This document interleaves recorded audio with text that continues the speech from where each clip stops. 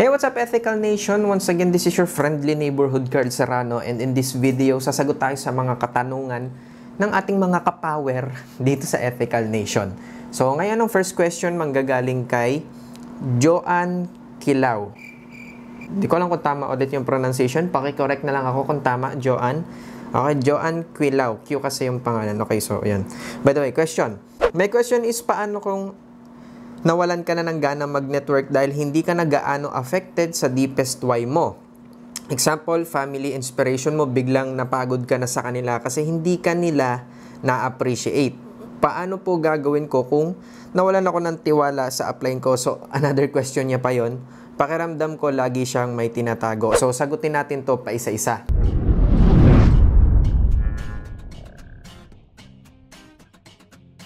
Okay, so first question ni Joanne is, paano kung yung, uh, shortcutin ko na lang kasi medyo mahaba. Paano kung nawalan ka na ng gana sa reason why mo kasi nga, yung, yung reason why mo ay hindi ka na-appreciate or dinadown ka. So, comment ka dyan sa ibaba kung nakaka-experience ka rin ng ganon. Okay? Comment ka lang dyan sa ibaba kung na-experience mo rin yung mismong reason why mo, sila pa yung mga nagda-down sa'yo, sila pa yung hindi naniniwala sa'yo, sila pa yung pinipigilan ka na ma-achieve yung goals mo. Ngayon, tingnan natin parehas na side. Okay? Usually, kapag yung mga uplines mo sinabihan ng ano, sinabihan mo ng ganon, 'di ba? Madalas nagiging sagot nila, wag mo na lang pansinin. Uh, para sa kanila naman 'yan. Pag naging successful ka, okay na yun. So, maraming points yun. Tama naman yun. May point yun. Pero, ang gusto ko kasi dito sa gusto kong sagutin ito ng may perspective. Okay? Gusto natin maintindihan, bakit ganon? Bakit nga ba ganon? Sila yung reason why mo, tapos, sila pa yung nagda-down sa'yo. Di ba? Miski, kahit pa sabihin mo sa kanila eh, di ba? Sabihin mo sa kanila na kayo yung rason bakit ko to ginagawa. Wala silang pakialam.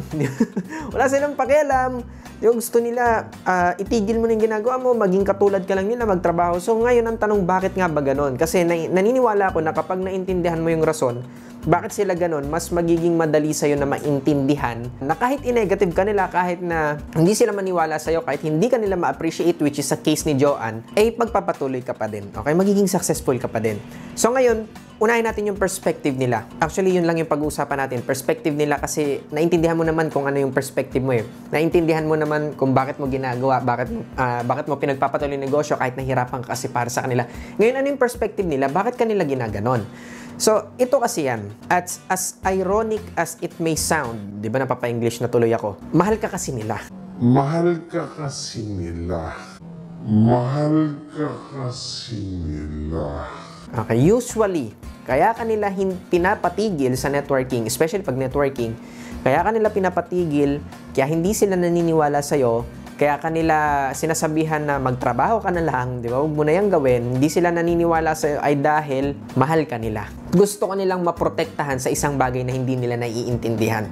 Tayo kasing mga tao, meron tayong takot talaga sa mga bagay na hindi natin naiintindihan. Normal yun. Pag merong bago sa atin, nakakatakot. Pero pag paulit-ulit mo nang ginagawa, hindi ka na matatakot, 'di ba? Ganun naman talaga, 'di ba? Sa, sa simula lahat halos lahat ng bagay na maiisip ko nakakatakot sa simula pag hindi mo alam, pag bago sa iyo.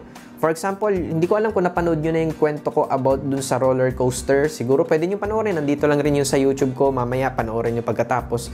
Uh, by the way, tapusin nyo to hanggang dulo para maintindihan nyo. For 18 years of my life, takot na takot ako. So, shortcut ng story. Takot takot takot ako sa roller coaster. Bakit? Nakikita ko sim paikot-ikot, nakakatakot, baka malaglag, blah, blah, blah. Diba? Yung, kung, kung ikaw takot ka rin sa roller coaster, pero never ka pang nakakasakay, naintindihan mo ako kung bakit.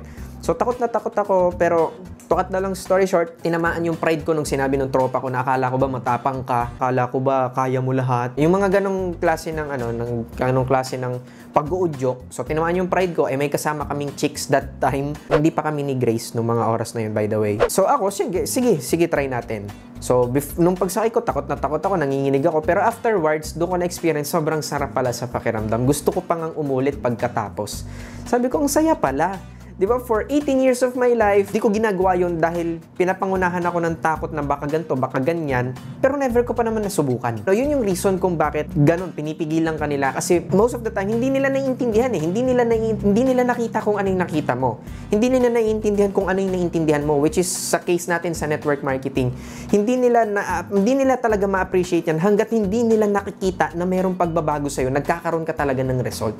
Yung resulta lang talaga yung tanging paraan para ma-appreciate nila. So, wag mong i-expect from your family, hindi lahat susuportan. Meron akong downline na all-out support buong family niya sa network.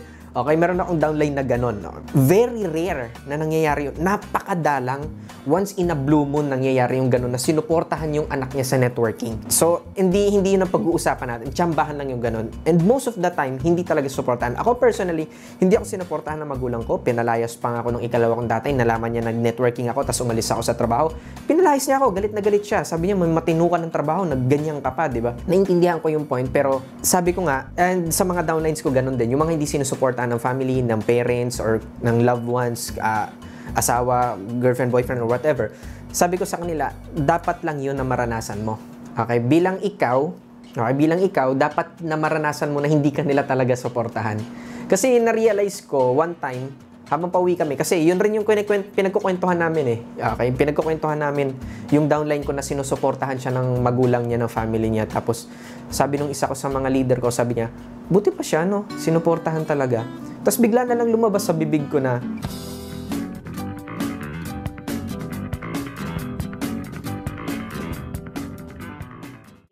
again, maraming maraming salamat sa panonood mo ng mga videos ko. Make sure na mag-subscribe ka and i-click mo yung notification bell nang makakuha ka ng mga notification kung sakasakali na may mga panibago akong videos para ikaw yung unang makakaalam. So once again, thank you sa panonood mo and see you!